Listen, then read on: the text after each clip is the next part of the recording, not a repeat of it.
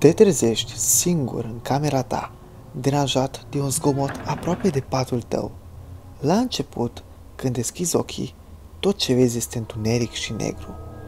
Te uiți drept în sus și asculți, întorcându-ți urechile pentru a capta cele mai slabe și mai mici sunete și auzi ceva ce încearcă în mod deliberat să tacă, să pândească și să vâneze. Ochii tăi încep să se adapteze întunericului. Însă, încă vezi doar întuneric.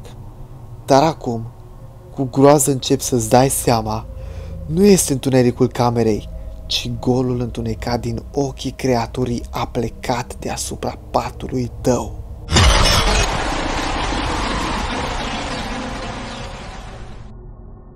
Alice Jack este o entitate umanoidă care îndepărtează organele victimelor sale și le mănâncă. Numele personajului vine de la faptul că el apare într-un hanorac purtând o mască albastră cu două găuri imense negre în loc de ochi. De unde curge un lichid negru, iar ochii sunt mari, negri și goi. Eyeless Jack este de obicei găsit stând la picioarele patului sau a plecat asupra victimei sale adormite. În cele mai multe descrieri, după cum ziceam, Eyeless Jack poartă o mască albastră și un hanorac. Există două găuri negre unde ar trebui să fie ochii, în timp ce restul trăsăturilor faciale fie lipsesc în totalitate, fie nu au putut fi identificate. Imaginea cea mai frecvent asociată cu personajul este o fotografie făcută de jos, ca și cum ar privi în sus la o figură cu față goală, cu doar două găuri deschise acolo unde ar trebui să fie ochii lui.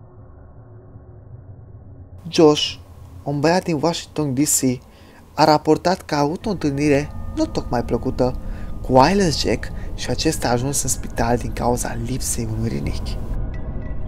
Se zice că Wireless Jack atacă în cele mai multe cazuri seara, între timp ce victima doarme, iar Wireless Jack nu este preocupat cu uciderea victimei, ci doar cu confiscarea rinichiului acesteia.